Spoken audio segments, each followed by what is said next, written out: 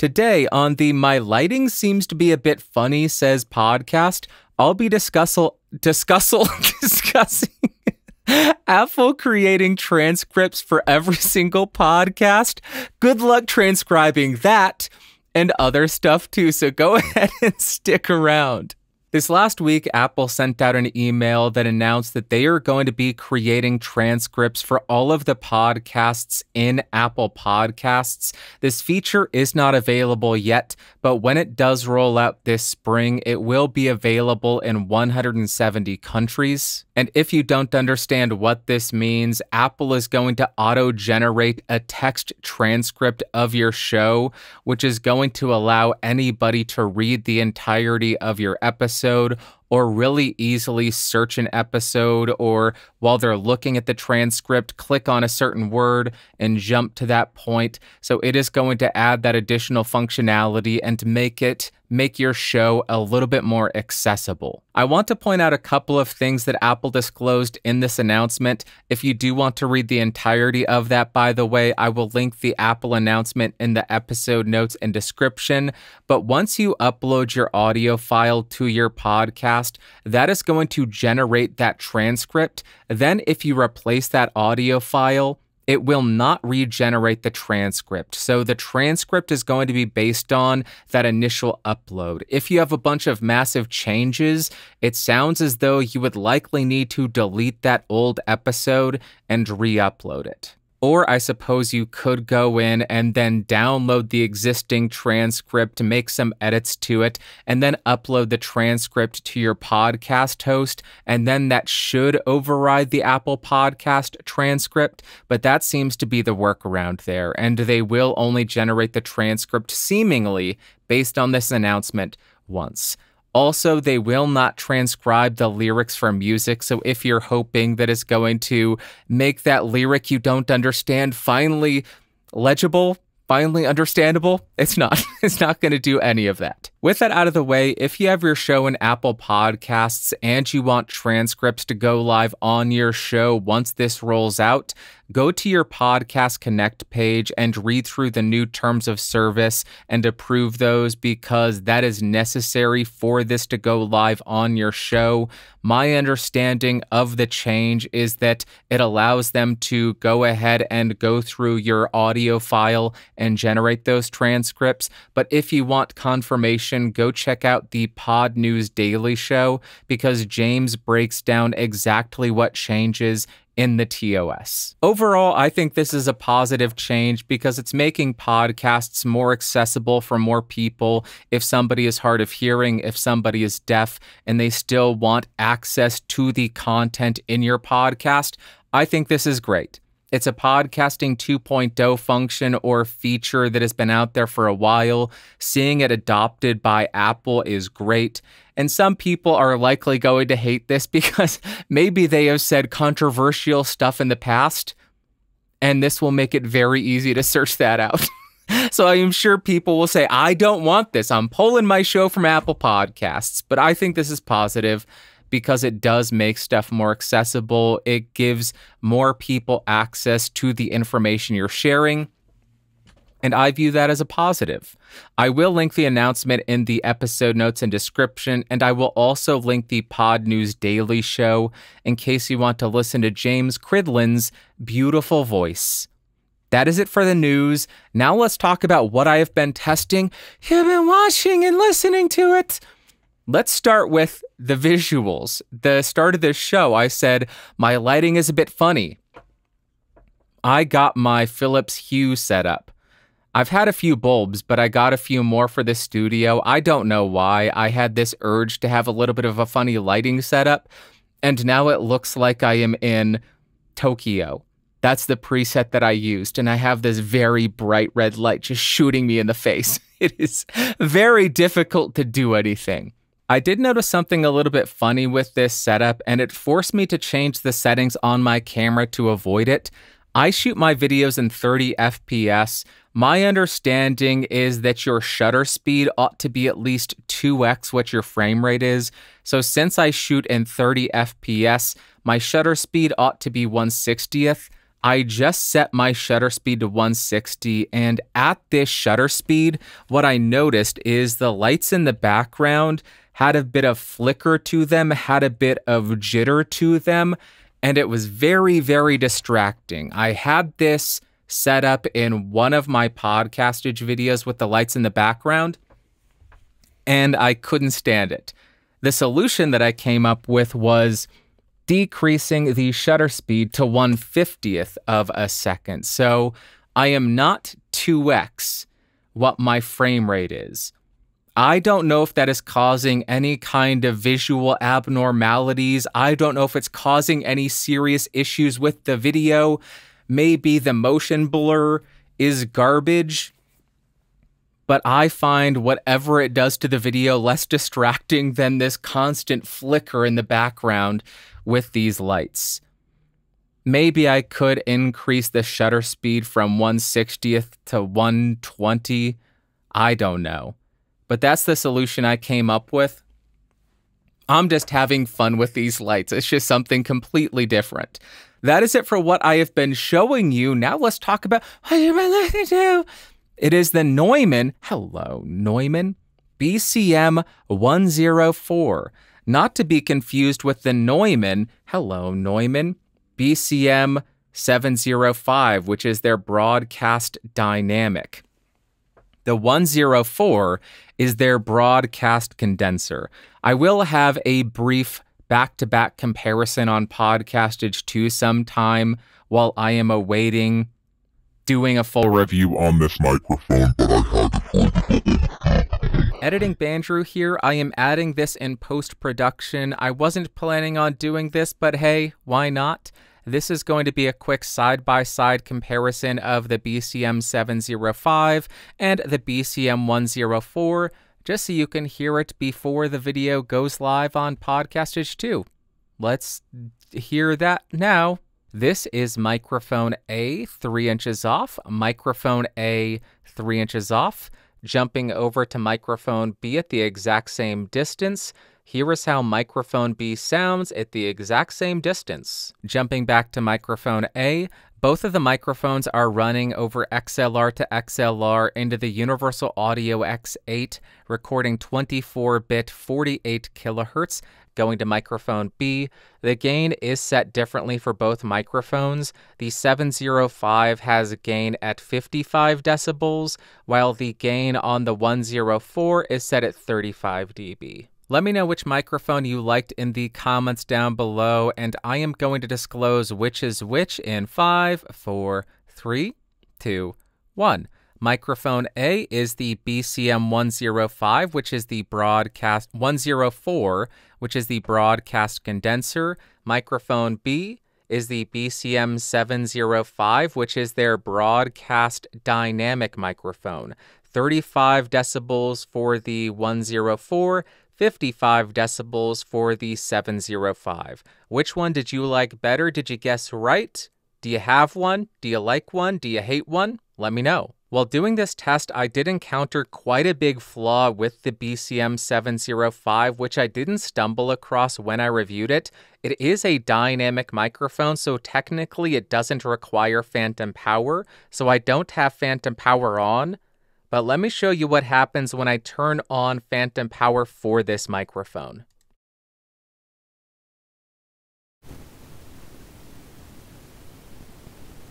Listen to that noise floor it becomes unusable.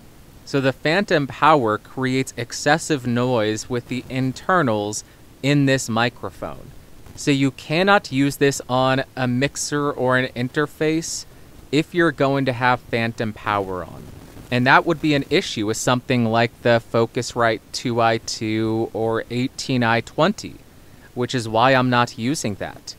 Because I need phantom power for the 104, but cannot have it for the 705. Let me shut it off now. I just had to share that because I stumbled across it while making this, and I think that's kind of a big issue that should not be the case on a $700, $800 microphone. That should not happen. Now I'm right on top of the 104, and here is how it handles the proximity effect. And here I am right on top of the 705, and here is how this microphone handles the proximity effect. Now for a quick plosive rejection test on the 104. Please bring pizza pronto. Please bring pizza pronto. Please bring pizza pronto. And the 705. Please bring pizza pronto. Please bring pizza pronto. Please bring pizza pronto. Now I am typing on a keyboard with Gateron blue switches, and here is how much the 104 rejects. And now on the 705, here is how much this microphone rejects.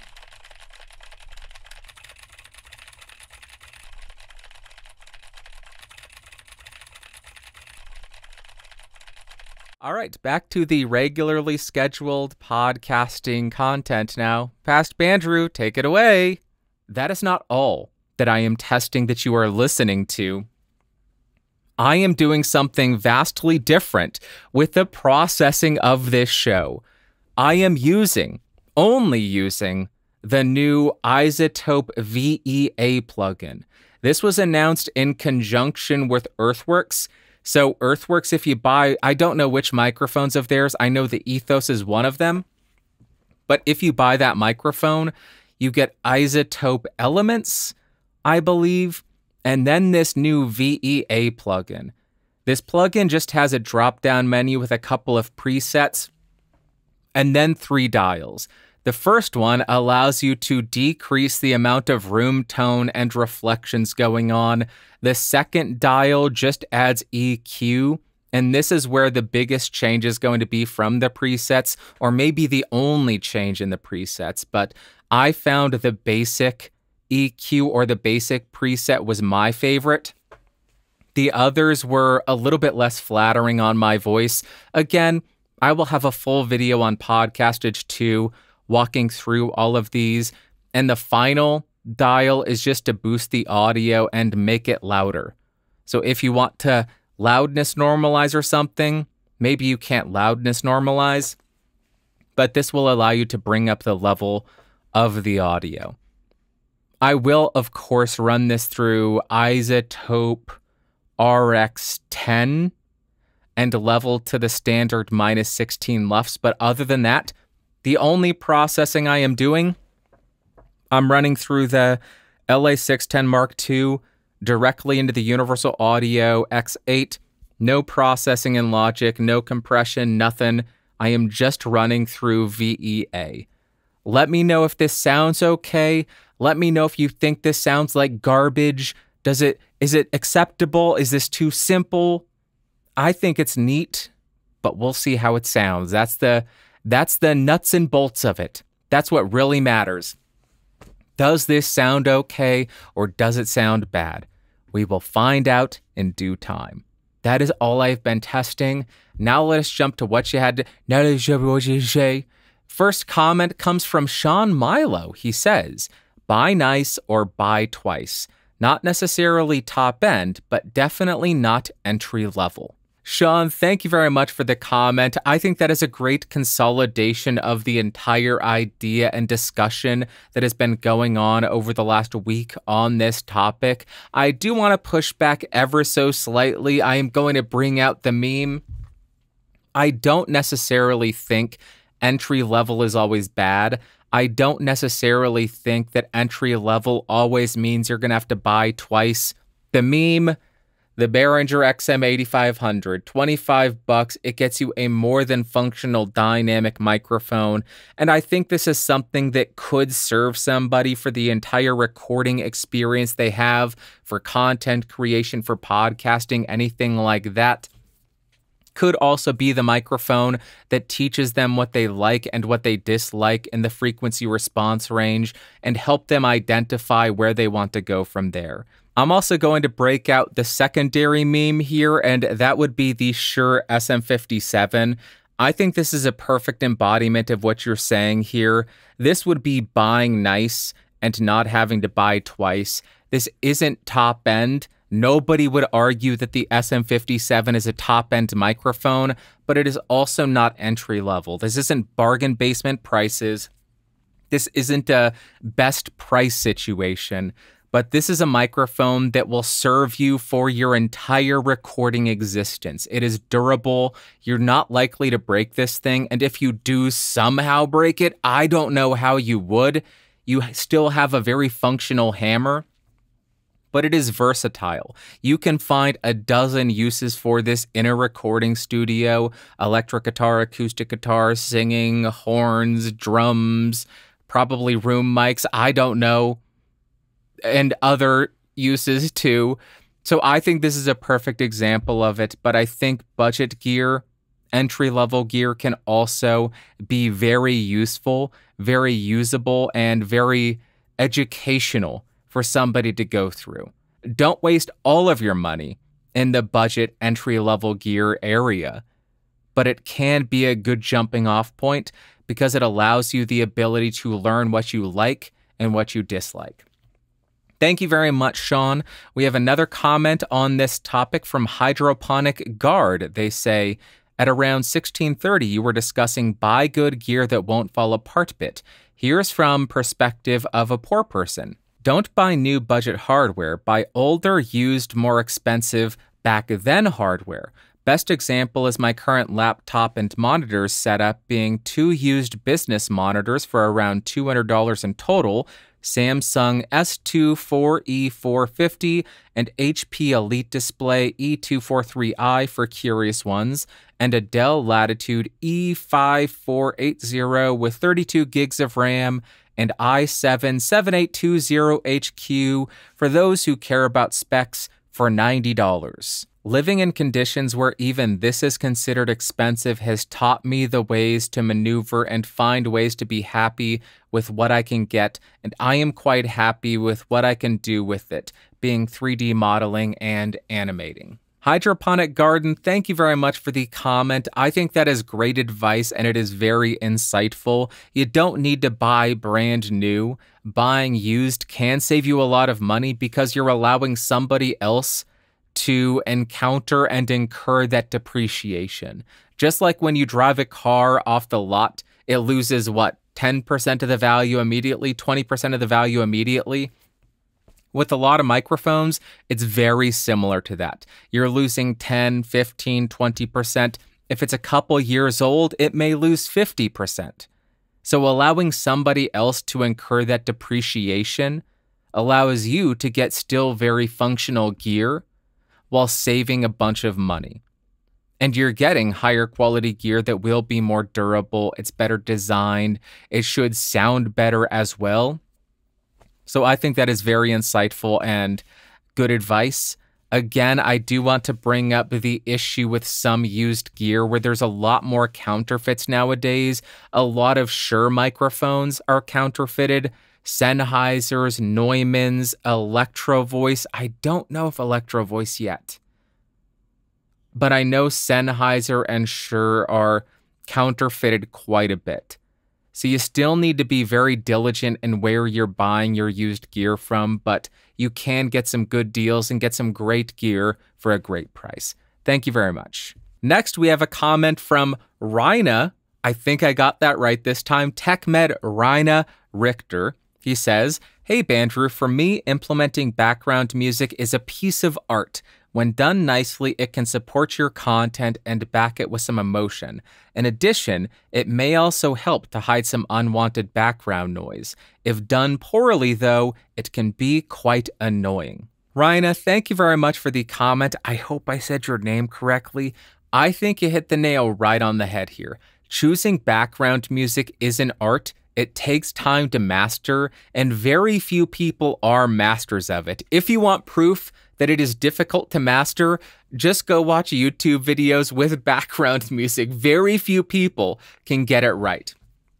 Another art that few people master is mixing in the background music correctly. Most of the time, it is way too loud, so it ends up drowning out the voice and being difficult to hear what is being said or they set it so quietly that it ends up sounding like a little bit of noise and it's just distracting.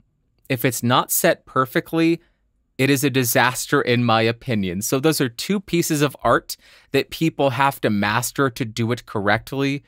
It takes time, it takes practice, And that is why I'm not too critical of people who make videos with background music where it is not done correctly, because I understand how difficult it is. Not just selection, but also mixing it correctly. Maybe adding a bit of EQ, maybe adding a bit of ducking. And all of this is why I have never really focused on or included background music. I find it very difficult to choose the correct song to match the the vibe or the emotion of the video. I guess it's because my videos don't my videos don't have any emotion. It's soulless, emotionless demonstrations. And there's no well, I guess I could just do some kind of 12-tone serialism in the background. That's what I'll do. The calming 12 tones of Schoenberg in the background. that would fit. But that's why I haven't really done it. I think you hit the nail right on the head. It is an art to choose the correct background music. Next, we have a comment from Vern Levine, and he says, in November, the IRS delayed the $600 limit change, so the 1099K will go to eBay sellers who exceed the current reporting threshold of $20,000 and 200 transactions. Right now, it looks like it will be $5,000 for 2024, though that can change. Hopefully it will because $600 was ridiculously low and 5,000 is still pretty low compared to how it used to be. Vern, thank you very much for the comment and the clarification. That is fantastic information to have. If the threshold is going to be $5,000, I'll be fine.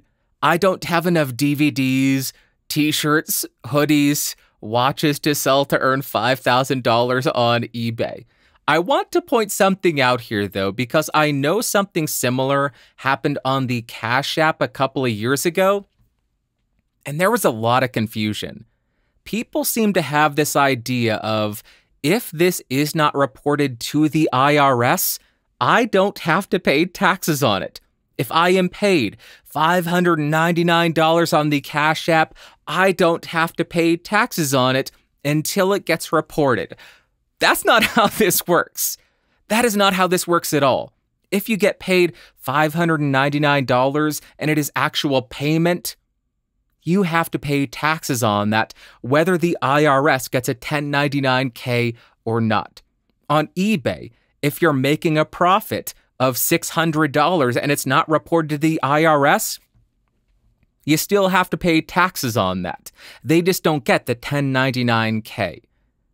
So if you were to get audited and they found out that you got that money and you did not pay taxes on it, congratulations, you evaded taxes. So you do still need to pay taxes even if they do not get a 1099K. As I said last week, if you're buying something with post tax dollars, then you sell it for a loss.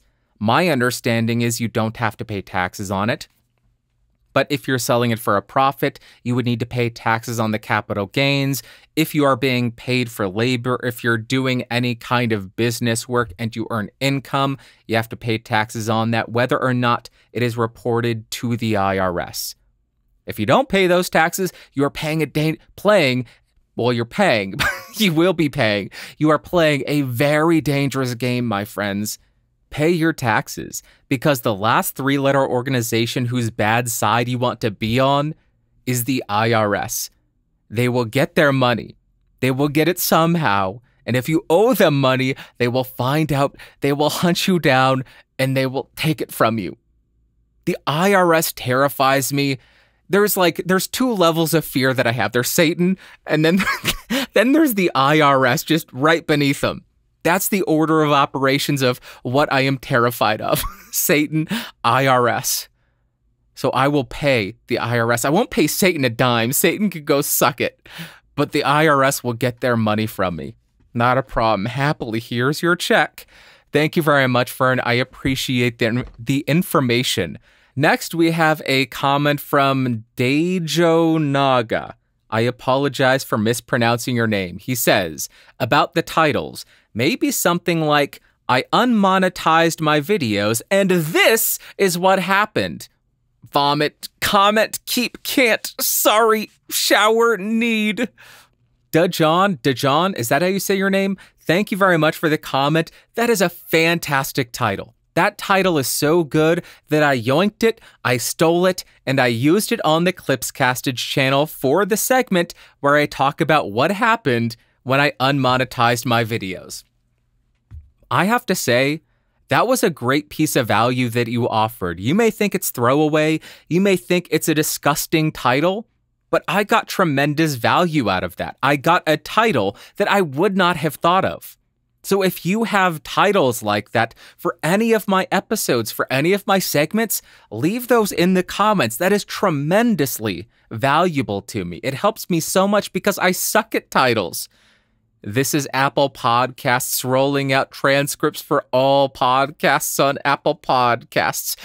That's what I'm going to be calling this episode, and that is not clickable.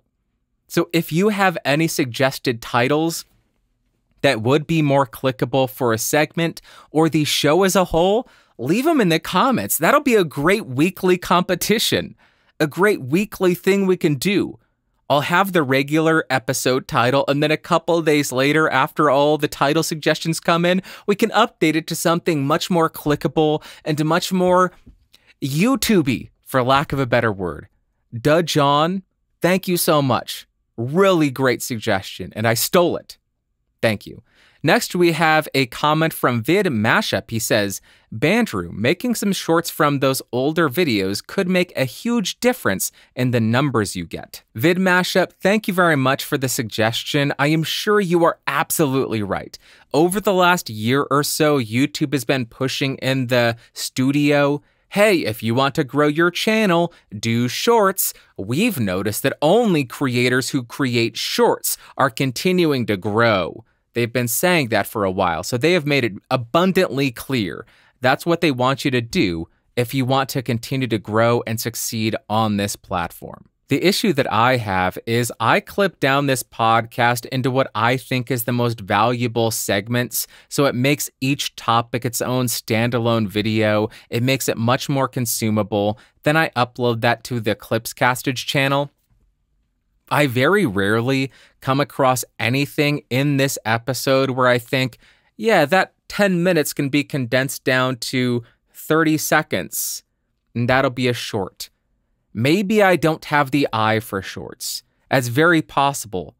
I did hire a shorts editor for one episode, and then I looked at the numbers and realized, oh, that's the entire profit for the entire month. this is not sustainable. So I got one episode of shorts and then I stopped it. So if anybody wants to, if if you find a short in this, feel free to leave it in the comment and say, "Hey, clip this out and upload it as a short." Or if you are the most generous person out there, feel free to just make it a short and upload it. I don't care if you upload it to your own channel, if you send it to me and then I can upload it to Clipscat, do whatever you want. But I don't have the eye for it. I want shorts to be valuable. My favorite short that I ever made was on Podcastage, and it was What happens when you, or why did that newscaster use a condom on a microphone? And it was difficult to edit that down to 60 seconds or 59 seconds because I made it 90 seconds for TikTok and Instagram. And then I had to cut out 30 additional seconds for YouTube. It was so difficult and the video didn't perform on YouTube. On TikTok, it got 250,000 views, I think, 200,000 something. On YouTube, 10,000. And no real growth to podcastage. I don't have the eye for it. If you see anything that would make a great short, let me know.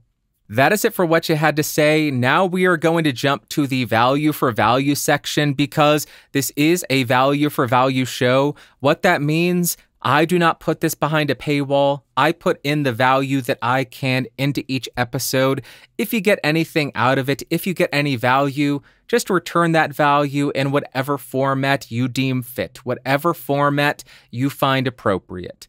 Because of these amazing financial contributors, we do not have ads. So if you enjoy this show without any ads, it is thanks to these amazing people. Number one comes from MEI Studio New York, aka PAGS. He comes in with 19.99 USD and he says, Bandrew, you're a gentleman and a scholar. I'm sitting here with a 102 degree COVID fever, and this brought a smile to my horritious day. I've found that titles mean more than thumbnails. I used to title my videos like something shootout, etc. Started getting way more views by just naming the video the model of the mic I'm rocking with no other words. All my views come from YouTube search. Budget analyst? I wrote software to automate tax budgets for the government. Complex stuff. Really appreciate the shout out and your thoughts on my question. So, no grindcore in the background? Got it. In my music class in high school, we did an experiment where we put circus music behind a Friday the 13th and it completely changed the vibe. Thank you for the great video. Pags, thank you very much for the 20 USD and for that great feedback. First thing I want to say is I hope you are feeling better. I hope you are on the mend. I hope you are over the hump of COVID because COVID can suck a big bag of butts. It sucks, especially with a 102 degree fever. That is no fun. Rest up, drink your fluids, eat some chicken noodle soup, and watch some of your favorite movies while you drift in and out of febrile delirium on the couch. That's how I got over it, and I kinda dug it. It's because. I, I shouldn't say I dug having COVID. I just dug laying on the couch and napping for two days straight. That was nice. But I hope you're taking care of yourself and resting up and feeling better. As far as the views improving once you change the titling of your videos, I am glad you found the correct strategy for you. I find that very interesting though. I wouldn't imagine that a simple title like Shure SM7B would perform better than SM7B versus this, this, this, SM7B review slash test, SM7B demo, SM7B against the RE20. What what gives with the SM7B? If Jerry Seinfeld was reviewing microphones. But as far as the views coming from search, I have found the exact same thing with Podcastage, and that is likely due to the fact that we are resource channels. We don't have super sexy topics that appeal to the masses. Nobody in the masses gives a heck about the 7B, the C414, the U87, the M160. They don't care. We are there for the nerds. We are there for the audio people who are looking to buy something new. We are there for the audio nerds looking to dive deeper and hear the comparisons between all the options that are available just because they're interested in it, that is who we appeal to. We don't have mass appeal. so so the fact that we have a platform to upload all our videos and the information we want to share to is incredible to me. And it's even more incredible that there is a platform that we can upload to that people can query. They can find information on stuff that is so incredibly niche. And that is why I think YouTube is so incredible because dorks like us can upload what we want. And then when there's another dork out there who thinks, I want to know what that microphone sounds like, they can find us. It is a beautiful time to be alive because the nerds can do what they want to do. The nerds can nerd out on the topics they want to nerd out on. I love it. Pags, thank you again, and please take care of yourself and feel better. Next, we have 10 USD from Robert Tower. He says, Looking forward to all your experiments and the presentation of your ideas in the coming year. Thank you for brightening up my dreary Sunday evenings. Robert, thank you very much for the 10 USD and thank you very much for the incredibly kind words. I am honored that you spend your Sunday evenings with me. That really does mean a lot. As I say pretty much every single week, you could be doing anything with your time. You could be watching a movie, you could be reading a book, listening to an album, going for a walk, hanging out with friends. You could be doing any of that. So the fact that you are here with me just means the world to me. Thank you so much. And I also look forward to sharing all the information with you over the coming year. The last super thanks comes from TechMed Raina Richter for 25 euro, and he says, Donka. Rhina, or for old sake, Rayner, thank you so much for the 25 euro. The fact that you continue to watch this show, the fact that you continue to support this show really means the world to me, and it allows me to keep the lights on, the lights colored, the audio sounding good, and the podcast hosting bills paid. Thank you so much. And thank you to all of the supporters because it allows me to keep the ads shut off on this channel. So if you enjoy this podcast without ads, thank you to them. Go ahead, thank them. I'll wait. Thank you for saying that. They really do appreciate it and they deserve all the thanks you just gave them. That is going to wrap up for this week's episode. I have nothing else. No Ask Bandrews, no movies of the week, although I should bring that back. I found my old theme song where I screamed to my mom to bring me popcorn. She didn't hear because she's hundreds of miles away. I am still waiting for my popcorn. Perhaps I should bring back movies of the week or music of the week or something like that. But thank you so much for coming by. I really do appreciate you spending your time here. As I said, you could be doing anything. The fact that you choose to spend 30, 40 minutes with me, does not go unnoticed, and I appreciate you deeply. I hope you have an amazing Sunday, Monday, Tuesday, Wednesday, Thursday, Friday, Saturday. Next Sunday, I will be back. I will be talking at you. Let me know what you thought of the BCM 104, and let me know what you thought of the processing with the VEA plugin. I will talk to you later. I love you. Bye bye. Whoa, whoa, boop.